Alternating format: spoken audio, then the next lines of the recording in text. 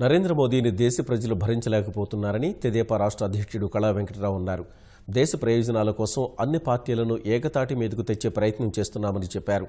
చంద్రబాబు ప్రయత్నాలకు దేశవ్యాప్తంగా మద్దతు లభిస్తోందంటున్న కళా వెంకటరావుతో ఈటీవీ ఆంధ్రప్రదేశ్ ముఖాముఖి. బీజేపీయేతర కూటమి ఏర్పాటు దిశగా ప్రయత్నాలు ముమ్మరం చేసిన తెలుగుదేశం అధినేత చంద్రబాబు మరి కాసేపట్లోనే బెంగళూరు పర్యటనకు బయలుదేరి వెళ్ళనున్నారు ముఖ్యమంత్రి చంద్రబాబుతో పాటు బెంగళూరు పర్యటనకు రాష్ట్ర అధ్యక్షులు కళా వెంకట్రావు అలాగే సీనియర్ మంత్రులు యనమల రామకృష్ణుడు నకానంద బాబు కూడా ఆయన వెంట వెళ్ళనున్నారు. ఈ ప్రధానంగా ఏ ఎజెండాతో ఈ బెంగళూరు పర్యటన సాగనుంది ఏంటి అని వివరించేందుకు మనతో తెదేపా రాష్ట్ర అధ్యక్షులు కళా వెంకట్రావు గారు ఉన్నారు. ఆయన అడిగి మరిన్ని వివరాలు తెలుసుకుందాం. సార్ ఈ దక్షిణాది పర్యటనలో భాగంగా ఇవాళ ముఖ్యమంత్రి చంద్రబాబు ఈయన దేవగౌడ్ కానీ లేకపోతే ఆయన కుమారుడు కుమారస్వామిని కానీ కలవటం జరుగుతుంది. ఇందులో ప్రధానంగా ఏ అంశాలు చర్చకు వచ్చే అవకాశం ఉందంటారు? కర్ణాటక ఎన్నికల తర్వాత దేవగౌడ గారిని అదేవిధంగా కుమారస్వామి గారు కర్ణాటక ముఖ్యమంత్రి గారిని ఈరోజు చంద్రబాబు నాయుడు గారు కలియబోతున్నారండి. దీనికి ఏంటంటే ప్రత్యేకంగా ఈ మధ్యనటువంటి జరిగినటువంటి పరిణామాలు ఢిల్లీలో మీరంతా చూశారు. ఏదైతే కాంగ్రెస్ అదేవిధంగా మిగతా బీజేపీ ఇతర పక్షాలన్నింటినీ కూడా కలపాలని చంద్రబాబు నాయుడు గారు ఏదైతే పూనుకున్నారో దాంట్లో భాగంగానే ఈ రోజున కర్ణాటక ఎన్నికల తర్వాత వీళ్ళని కలియలేదు కాబట్టి ఈ వెళ్ళి కలిసి వార్తలు వారితో కూడా చర్చించి దీని మీద ఎలా ముందుకు సాగాలి అనేటటువంటి చర్చలు అక్కడి నుంచి వస్తాయి. మరి కర్ణాటకలో కూడా నిన్న జరిగినటువంటి పరిణామాలు చూస్తే ఒక రెండు ఎస్ పార్లమెంటు స్థానాలని ఒక అసెంబ్లీ స్థానాన్ని నాలుగింట్లో మూడు గెలుచుకోవడం జరిగింది. ఓ పార్లమెంటు మాత్రమే తక్కువ మెజార్టీతో మరి బీజేపీ నిలబెట్టుకుంది. ఈ వచ్చినట్టు బీజేపీ యాత్ర ఆ పార్టీలకు వచ్చినటువంటిది మనం చూస్తే ఒక నియోజకవర్గంలో యాభై ఐదు వేలు యావరేజ్ ఉందంటే ఏడు ఎమ్మెల్యే నియోజకవర్గాల్లో కూడా యావరేజ్ మనం తీసుకుంటే మూడు లక్షల ఎనభై నాలుగు వేలు పైచిలకు యాభై ఐదు వేలు పైచిలకు వస్తున్నాయి మెజార్టీలు. రెండో ఎంపీ సీట్లో కూడా తీసుకుంటే ముప్పై ఆరు వేలు పైచిలకు వచ్చేటటువంటి యావరేజ్ని చూస్తే దేశంలో ఇది చాలా పెద్ద పరిణామం. రాబోయే ఎన్నికలకి ఏంటి చిరునామా అనేటటువంటిది ఇక్కడ రిఫ్లెక్ట్ అవుతుంది. ఎందువల్లంటే ఇంత మెజార్టీలు ఎప్పుడు కూడా ఎక్కడ కూడా ఏ రాష్ట్రంలో ఒకే పద్ధతిలో పద్నాలుగు అసెంబ్లీ సెగ్మెంట్లో ఆ విధంగా వస్తుంది అని అంటే ఇది చిన్న పరిణామం కాదు. పొలిటికల్గా దీన్ని చాలా దీనిగా ఆలోచించుకోవాల్సినటువంటి అవసరం ఉంది.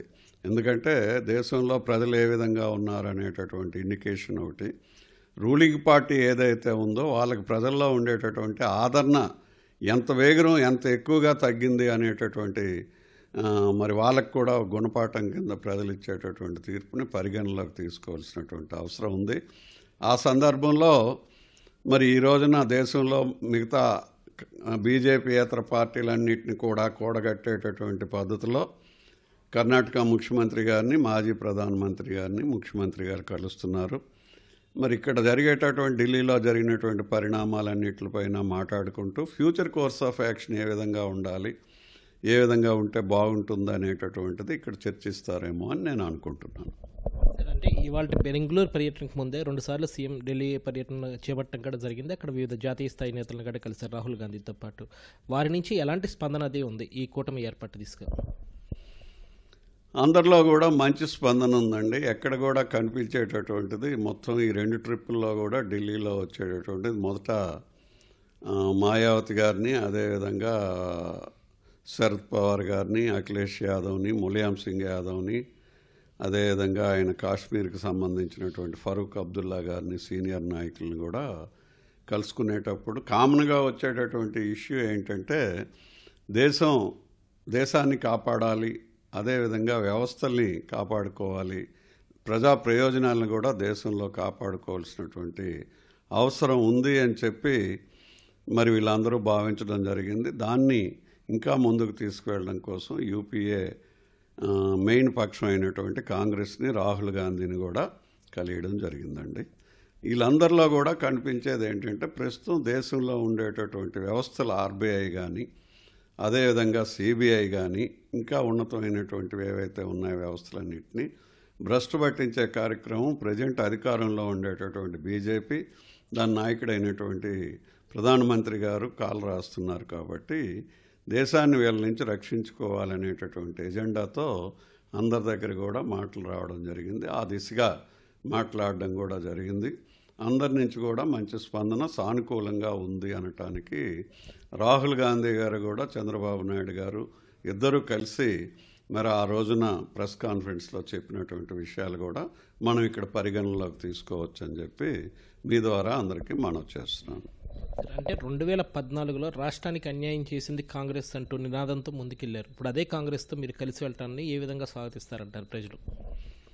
నేను ఈ ఐడియలాజికల్ డిఫరెన్సెస్ తప్ప పొలిటికల్ పార్టీల మధ్యన ఎనీ పొలిటికల్ పార్టీ ఏ నాయకుడైనా దేశ ప్రయోజనాల కోసం ప్రజా ప్రయోజనాల కోసం అదేవిధంగా ప్రాంతీయ పార్టీలు అయితే రాష్ట్ర ప్రయోజనాల కోసం ఆలోచన చేయాల్సినటువంటిది ప్రజాస్వామ్యంలో. ప్రజాస్వామ్యం ఆరు వందలు సంవత్సరాల పైచీలకు ఏర్పడిన దగ్గర నుంచి వెల్ఫేర్ స్టేట్స్ అనేవారు శ్రేయోరాజ్యాలు. ఇవి ఫైనల్గా ఏంటంటే పొలిటికల్ పార్టీ కానీ దాని నాయకత్వం కానీ అందులో కార్యకర్తలు కానీ ప్రజా ప్రయోజనాలు అదేవిధంగా దేశ ప్రయోజనాలే ముఖ్యం. దానికి వ్యతిరేకంగా దేశంలో అనేకమైనటువంటి మరి ప్రజా వ్యతిరేక కార్యక్రమాలు మోడీ గారు మరి ఆయన ప్రభుత్వం చేపట్టినటువంటి డిమానిటైజేషన్ కానీ అదేవిధంగా రూపీ వాల్యూ పడిపోవడం కానీ పెట్రోల్ ధరలు కానీ ఇవన్నీ చూస్తుంటే ప్రజలు మోసేటటు ఈ భారాన్ని మోసేటటువంటి స్థితిలో లేరు. అదేవిధంగా సిబిఐ కానీ ఆర్బీఐ కానీ ఇవన్నీ చూస్తుంటే దేశంలో ఉండే ఉన్నతమైనటువంటి వ్యవస్థలను కూడా భ్రష్టు పట్టించే కార్యక్రమాన్ని ప్రజలు చూస్తూ ఊరుకోకూడదు. అదేవిధంగా ప్రజాస్వామ్య పక్షాలు కూడా రాజకీయ పక్షాలు ఇక్కడ ఐడియలాజికల్ డిఫరెన్సెస్ను పక్కన పెడుతూ దేశ ప్రయోజనాల కోసం రాష్ట్ర ప్రయోజనాల కోసం ఏదైతే నియంత్రిత ద్వారంతో ముందుకెళ్తూ వ్యవస్థలు నాశనం చేసే బీజేపీ పార్టీని నాయకుడైనటువంటి మోడీ గారిని ఎదుర్కోవాల్సినటువంటి అవసరం ఉంది. ప్రజలు కూడా ఇది కోరుకుంటున్నారు. థ్యాంక్ యూ సరే. అలాగే బీజేపీ ఇతర పక్షాలతో పాటు ఎన్డీఏలో భాగస్వామిగా ఉంటూ ఈ మోడీ మోడీ అలాగే అమిత్ షాలను వ్యతిరేకించే కొన్ని పార్టీలను కూడా కలుపుకుపోయే దిశగా ఆలోచనలు చేస్తున్నట్టు ప్రచారం జరుగుతుంది. ఆ ప్రయత్నాలు ఎంతవరకు సాగుతున్నాయి? ఇప్పుడు మన రాష్ట్ర ప్రయోజనాలని మనం ఆశించి మనకి ఏదైతే స్పెషల్ స్టేటస్ అదేవిధంగా విభజన హామీల్ని ఇస్తామని చెప్పి మిత్రపక్షంగా ఉండి కూడా మన మోసం చేసి ఇరవై తొమ్మిది సార్లు వెళ్ళినప్పటికి కూడా ఏమీ ఆలోచన లేకుండా ఈ రాష్ట్ర ప్రయోజనాలని ప్రజా ప్రయోజనాలని పక్కకు పెట్టినందువల్ల మనం బయటకు వచ్చాం. అదేవిధంగా కూడా ఎవరు ఇప్పుడు ఉండేటటువంటి ఎన్డీఏ పక్షాల్లో కూడా ఉండొచ్చు. అలాంటి వాళ్ళని ఎవరినైనా కూడా ఈ దేశం కాపాడుకోవడం కోసం వ్యవస్థల్ని కాపాడుకోవడం కోసం ముందుకు వచ్చే వాళ్ళందరితో కూడా మేము వాళ్ళని కూడా కలుపుకొని ముందుకు సాగాలనేటటువంటి వంట- ఉంది. అలాంటి వాళ్ళని కూడా కలవాలనేటటువంటి ఉద్దేశం మాకుంది. కాంగ్రెస్లో కలుపుకు వెళ్ళే ప్రయత్నంలో భాగంగా వచ్చే సార్వత్రిక ఎన్నికల్లో ఆంధ్రప్రదేశ్లో కూడా ఆ పార్టీతో పొత్తు పెట్టుకు వెళ్తారు. అలాగే కొన్ని స్థానాలు కూడా కేటాయిస్తారన్న ప్రచారం బాగా ఉంది. ముఖ్యంగా తెలుగుదేశం వర్గాల్లోనే ఈ ప్రచారం ఉంది. దీనిపై మీ స్పందన ఏంటి? కాంగ్రెస్ ఏంటంటే దేశ ప్రయోజనాలు రాష్ట్ర ప్రయోజనాలని దృష్టిలో ఉంచుకొని కాంగ్రెస్ యూపీ అని కూడా మనం కలుపుకుంటూ వెళ్ళాలి. ఎందుకంటే ఇక్కడ బీజేపీ అనేటటువంటిది భారతదేశాన్ని అదేవిధంగా వ్యవస్థల్ని నాశనం చేసే పరిస్థితుల్లో మరి అందరం కలిగాలి అనేటటువంటిది. మరి అప్పుడు ఉండేటటువంటి చట్టం ఆంధ్రప్రదేశ్ని విడగొట్టేటప్పుడు మరి అప్పుడు ఉండేటటువంటి ప్రైమ్ మినిస్టర్ గారు చేసినటువంటి వాగ్దానాలు ఏవైతే ఉన్నాయో స్పెషల్ స్టేటస్ కానీ అదేవిధంగా చట్టంలో పెట్టినటువంటి విభజన హామీలు కానీ అన్నిటిని కూడా మేము వస్తే మేము చేస్తాము అని చెప్పి మన పక్క రాష్ట్రం అయినటువంటి తెలుగు రాష్ట్రం తెలంగాణలో చెప్పినటువంటి విషయాన్ని కూడా ఇక్కడ మనం గుర్తుంచుకోవాల్సినటువంటి అవసరం ఉంది.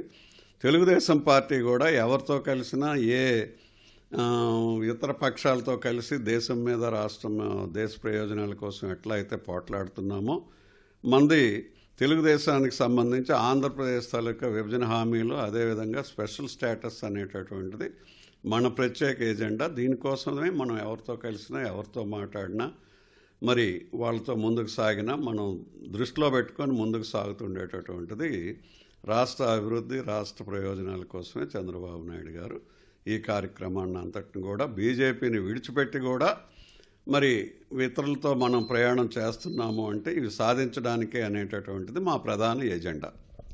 ఫైనల్గా ఇవాళ పర్యటన తర్వాత బెంగళూరు పర్యటన తర్వాత ఇంకా ఎవరెవరి నేతలను కలిసే అవకాశం ఉంది. అలాగే భవిష్యత్ కార్యాచరణ ఏ విధంగా ఉండబోతుందో ఈ జాతీయ స్థాయి నేతలందరితో కలిసి సభలు సమావేశాలను నిర్వహించనున్నారు.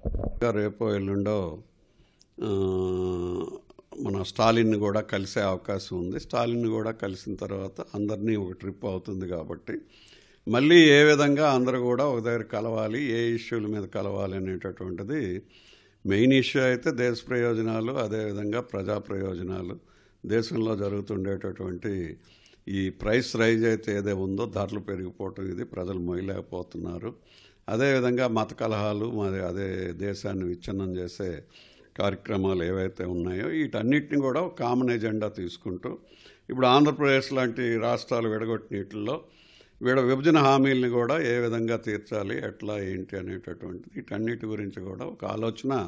ఫస్ట్ రౌండ్ అందరినీ కలిసిన తర్వాత వీటి మీద ఏ విధంగా మరొక దగ్గర ఈ రాష్ట్రంలో పెట్టాలా ఇంకో దగ్గర పెట్టాలా అనేటటువంటిది నెక్స్ట్ రౌండ్లో దీని గురించి ఇవి పూర్తయిన తర్వాత ఆలోచన జరుగుతుంది అనేటటువంటిది మీ ద్వారా తెలియజేస్తున్నాం.